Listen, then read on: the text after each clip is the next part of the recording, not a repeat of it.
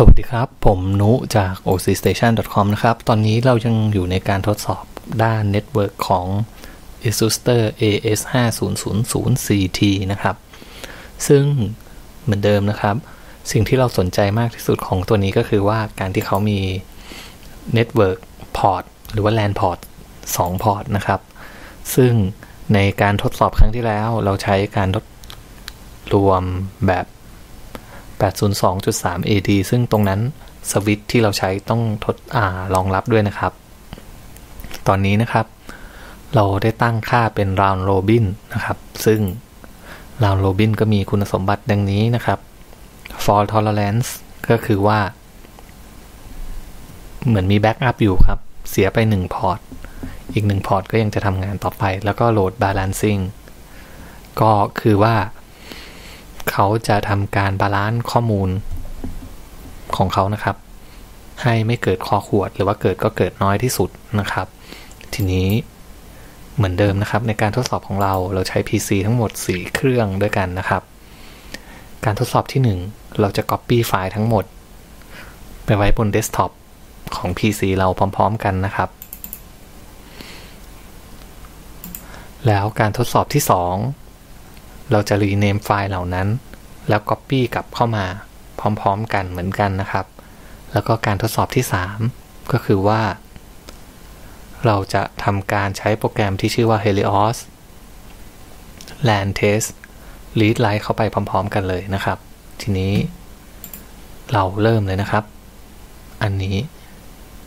เครื่องที่ 1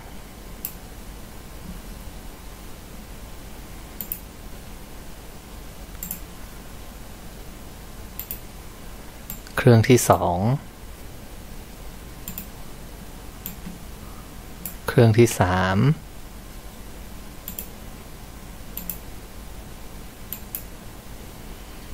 และก็ เครื่องที่สี่นะครับ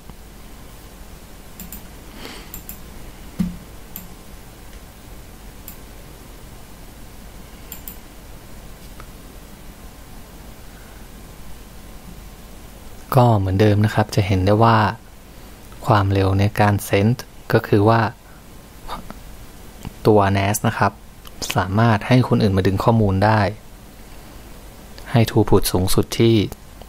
200 เมกะไบต์เลยนะครับ ซึ่งก็คือสูงสุดของ2จิกะบิตแล้วนะครับ ก็เหมือนเดิมนะครับ ความเชื่อของผมก็คือว่าถ้าเกิดเราเพิ่มแรมเข้าไป ในส่วนของ cache กับ buffer จะมีมากขึ้น จะทำให้การ read write นั้นมีความเสถียรมากขึ้นนะครับ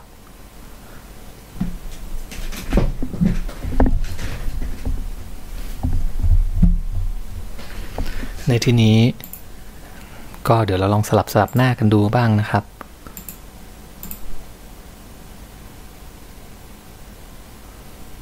ที่เราเห็นอย่างนี้คือมันจริง ๆ มันไม่ได้ช้าเลยนะครับ เพียงแต่ว่า หนึ่งไฟล์เนี่ยครับ มีการดึงพร้อมกันถึง 3 เครื่อง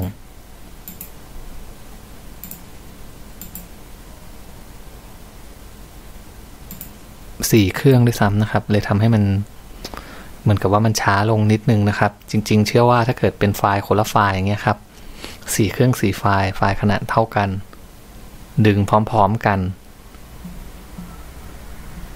อาอาจจะเร็วกว่านี้นะครับ แต่ด้วยความเร็วระดับนี้นะครับ คือสามารถดูหนัง High Def พร้อมกันที่ 1080p ได้ เกิน 10 เครื่องแน่นอนครับ เพราะว่า 1080p เนี่ย แม้กระทั่งจะว่าจะวิ่งบน 10ทับร้อยก็ยังชัดอยู่เลยครับ ไม่กระตุก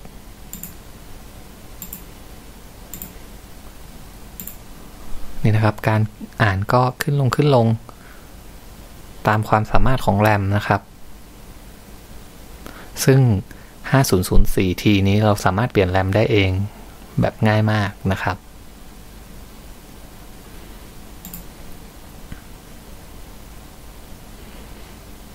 เบื้องต้นผมขอจบการทดสอบชุดนี้เพียงเท่านี้นะครับ เดี๋ยว หลังจากที่ผม Copy ไฟล์เสร็จแล้ว ผมจะทำการ Rename ไฟล์ทั้งหมด เป็น 1 2 3 4 เหมือนเทสครั้งที่แล้วนะครับ แล้วก็ Copy กลับเข้าไปนะครับ ซึ่งจากการทดสอบครั้งนี้นะครับ ผมก็สามารถจะสรุปได้ว่า แม้ว่าเราจะมีแค่สวิตธรรมดานะครับ ที่ไม่ใช่แบบ manage switch การทำงานของ load balance สามารถทำได้จริงครับ และทำได้ดีด้วยนะครับ ขยายหน้าจอดูกราฟ